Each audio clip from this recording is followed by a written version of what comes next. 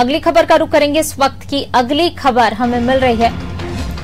जगदलपुर से बस्तर को नई पहचान मिली है। गोंडी बोली को पहचान मिली है। गूगल में गोंडी बोली का फॉन्ट टाइप हो सकेगा। तो जगदलपुर से खबर आपको बता रहे हैं, बस्तर को एक नई पहचान यहाँ पर मिली है। गूगल और न्यूजीलैंड की कंपनी ने निर्माण किया है। अंतर्राष्ट्रीय जगत में गोंडी बोली को पहचान मिली है। गूगल में गोंडी बोली का फॉन्ट टाइप हो सकेगा।